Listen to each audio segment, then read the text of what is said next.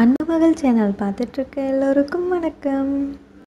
இன்றைக்கி நம்ம சேனலில் முட்டை கறி குழம்பு எப்படி செய்கிறதுன்னு தான் பார்க்க போகிறோம் கறிங்கிறது சிக்கன் மட்டன்லாம் கிடையாதுங்க.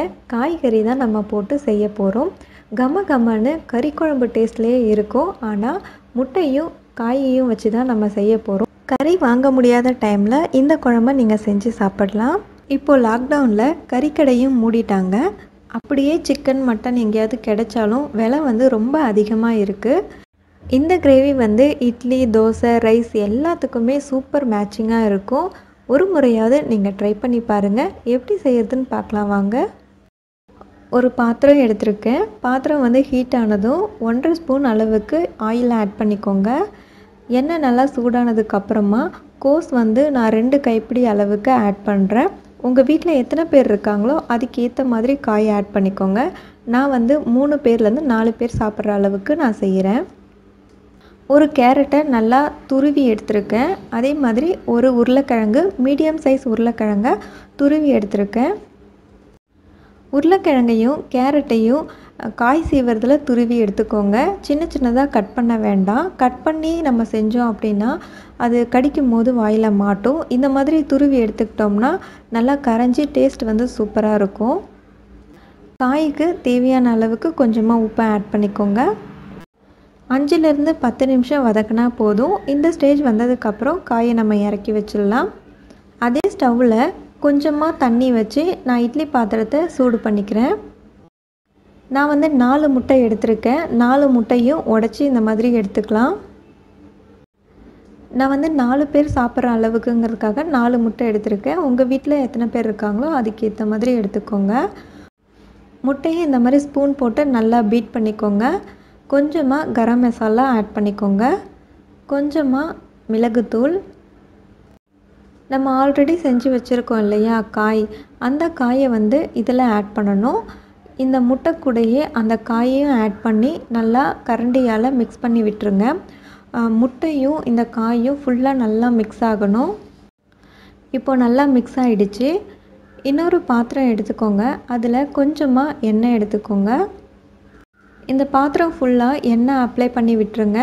இந்த முட்டையோட கலவை இருக்கு இல்லையா? அதை வந்து இதில் ஊற்றி நம்ம இட்லி பானையில் வச்சு அவிக்க போகிறோம் அப்போ சைடில் எதுவும் ஒட்டாமல் இருக்கிறதுக்காக தான் ஆயில் அப்ளை பண்ணுறோம் இப்போ அந்த முட்டை அந்த காய் எல்லாத்தையும் நம்ம கலந்து வச்சுருக்கிறது இந்த பாத்திரத்தில் ட்ரான்ஸ்ஃபர் பண்ணிட்டேன். நல்லா தட்டி விட்டு அந்த காயும் முட்டையும் சரிசமமாக இருக்கிற மாதிரி ஸ்பூனால் செஞ்சு விட்டுருங்க. இப்போ நல்லா மிக்ஸ் ஆகி கரெக்டாக இருக்குது இப்போது இது வந்து நம்ம இட்லி பாத்திரத்தில் வச்சுக்கலாம். தண்ணியும் கொதி வந்துருச்சு. ஒரு ஸ்டாண்ட் வச்சுட்டு அதுக்கு மேலே இந்த முட்டையை வச்சுருக்கேன். இதை மூடி போட்டு வச்சிடலாம் ஒரு பதினஞ்சுலேருந்து இருபது நிமிஷம் வெந்தால் போதும். பக்கத்து கேஸ் ஸ்டவ்வில் ஒரு பேன் வச்சுருக்கேன். அதில் வந்து ஒன்றரை ஸ்பூன் அளவுக்கு எண்ணெய் ஆட் பண்ணிக்கிறேன். இதில் நம்ம கறி குழம்புக்கு தாளிக்கிற மாதிரியே பட்டை கிராம்பு சோம்பு இலை இது எல்லாமே ஆட் பண்ணிக்கிட்டேன். ஏலக்காய் ரெண்டு போட்டுக்கோங்க. இது எல்லாம் நல்லா பொரிஞ்சு வந்ததுக்கப்புறமா கொஞ்சமாக வெங்காயம் ஆட் பண்ணிக்கோங்க. வெங்காயம் கோல்டன் ப்ரௌன் ஆகிற வரைக்கும் வதக்கிக்கோங்க. கலர் வந்து சேஞ்ச் ஆகிடுச்சு இந்த ஸ்டேஜில் வந்து நான் வெங்காயத்தை அரைச்சி வச்சுருக்கேன். இது வந்து நாலு வெங்காயம் மீடியம் சைஸ் அளவுக்கு அதை அரைச்சி வச்சுருக்கேன். அதை ஆட் பண்ணிக்கிறேன். இது கூடயே இஞ்சி பூண்டு பேஸ்ட் வந்து ஒன்றரை ஸ்பூன் அளவுக்கு ஆட் பண்ணிக்கோங்க. இந்த வெங்காயமும் இஞ்சி பூண்டு பேஸ்ட்டும் நல்லா மிக்ஸ் ஆகிற மாதிரி கிளறி விட்டுருங்க. ஒரு ரெண்டுலேருந்து மூணு நிமிஷம் நல்லா கிளறி விட்டுருங்க. இதில் ரெண்டு பச்சை மிளகாய் நான் சின்ன சின்னதாக நீட் நீட்டாக கட் பண்ணி வச்சுருக்கேன். அதை ஆட் பண்ணிக்கிறேன். நாலு தக்காளி மீடியம் சைஸ் அளவுக்கு அதை நான் பியூரியாக அரைச்சி வச்சுருக்கேன். அதை ஆட் பண்ணிக்கிறேன். இது எல்லாமே நல்லா மிக்ஸ் ஆகிற மாதிரி ஃபுல்லாக கலந்து விட்டுருங்க. தேவையான அளவுக்கு கொஞ்சமாக உப்பை ஆட் பண்ணிக்கோங்க. மூடி போட்டு வச்சிடலாம். ஒரு பதினஞ்சு நிமிஷம் நல்லா வேகட்டும். இப்போது நம்ம இட்லி பானையில் வச்ச முட்டை வந்து வெந்துருச்சான்னு பார்க்கலாம். கத்தியால் லைட்டாக குத்தி பாருங்கள் ஒட்டாமல் வந்துச்சு அப்படின்னா வெந்துருச்சுன்னு அர்த்தம். இப்போ ஒட்டாமல் வந்திருக்கு. ஸோ வெந்துருச்சு. இப்போ ஆஃப் பண்ணிவிட்டு இந்த முட்டையை தனியாக எடுத்துடலாம். கத்தியால் ஓர பகுதியிலலாம் லைட்டாக எடுத்து விடுங்க. இப்போ நம்ம அந்த முட்டையை தனியாக எடுத்தாச்சு. உங்களுக்கு தேவையான சைஸில் பீஸ் போட்டுக்கோங்க. நான் மீடியம் சைஸ்க்கு இந்த மாதிரி பீஸ் போட்டிருக்கேன். இப்போது கிரேவி எப்படி இருக்குன்னு பார்க்கலாம். இஞ்சி பூண்டு அதுக்கப்புறம் தக்காளி எல்லாமே நல்லா வதங்கிடுச்சு சுண்டி வந்துருச்சு. இந்த டைமில் அரை ஸ்பூன் அளவுக்கு மஞ்சத்தூள்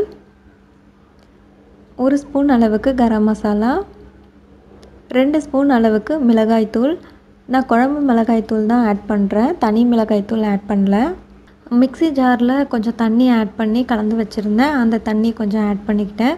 தேவையான அளவுக்கு தண்ணியை ஆட் பண்ணி மூடி வச்சுருங்க. நல்லா கொதிக்கட்டும்.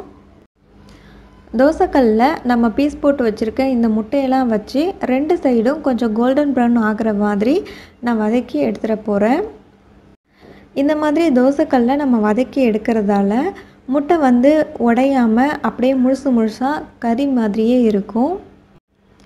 எல்லா முட்டையும் நான் திருப்பி போட்டு எல்லா சைடுமே கோல்டன் ப்ரௌன் ஆகிற மாதிரி வதக்கி எடுத்துட்டேன். இப்போ நம்ம பக்கத்தில் கொதிச்சிட்ருக்க குழம்புல வந்து ஆட் பண்ணிடலாம். எல்லா பீஸையும் எடுத்து இந்த குழம்புல ஆட் பண்ணுங்கள் எல்லா முட்டை பீஸையும் ஆட் பண்ணியாச்சு. அந்த பாத்திரத்தில் கொஞ்சமாக ஒட்டியிருந்த அந்த உதிரி பீஸையும் நான் ஆட் பண்ணிட்டேன். இதை எல்லாமே கலந்து விட்டுருங்க. ஒரு பத்து நிமிஷத்துலேருந்து ஒரு பதினஞ்சு நிமிஷம் கொதிச்சா போதும். நம்மளுக்கு ரெடி ஆகிடும் நம்மளோட முட்டை கறி குழம்பு சூப்பராக ரெடி ஆகிடுச்சு கறி பீசஸ் இருக்கிற மாதிரியே தெரியுது பாருங்கள் அவ்வளோதான் ரொம்ப எம்மியாக இருக்குது கொஞ்சமாக வாசனைக்காக கொத்தமல்லி தூவியிருக்கேன் சூப்பராக ரெடி ஆகிடுச்சு முட்டை கறி குழம்பு. இந்த ரெசிபி உங்களுக்கு ரொம்ப பிடிச்சிருக்கும்னு நினைக்கிறேன். வீட்டில் ட்ரை பண்ணி பாருங்கள் எல்லாருக்கும் செஞ்சு கொடுத்துட்டு நீங்களும் சாப்பிட்டு என்ஜாய் பண்ணுங்கள் இந்த வீடியோ பிடிச்சிருந்தா லைக் பண்ணுங்கள் உங்கள் ஃப்ரெண்ட்ஸ் அண்ட் ஃபேமிலி கூட ஷேர் பண்ணிக்கோங்க. இருப்பதை வைத்து இன்பமாக வாழலாம். தேங்க்யூ